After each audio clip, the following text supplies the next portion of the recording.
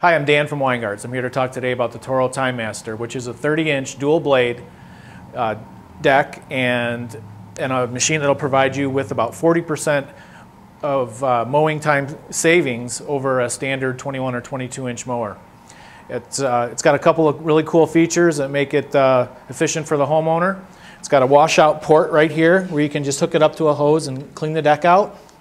You've got uh, an electric start on this one. This, it's available with both pull start and electric start.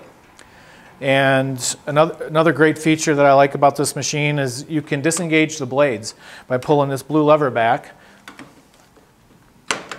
And now you're, now you're mowing with the blades engaged. As soon as you let go of this, the blades disengage and stop spinning, but the mower's still running. So if you've got something in front of you or you've got to empty the bag on a, you know, for instance, in the fall when you're picking up leaves, it's a, it's a great feature.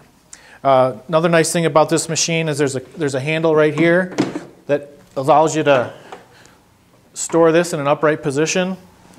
Take the bag off, hang it right there so you can save some space in your garage. Comes with a three-year guarantee to start and a full warranty. And it, again, it comes in both recoil and electric uh, versions. Toro design Briggs & Stratton engine, overhead valve, and dual blades, as I mentioned before, for, to give you a nice cut quality. Again, this is a Toro TimeMaster, and thanks for listening. Weingartz, Weingartz, everything from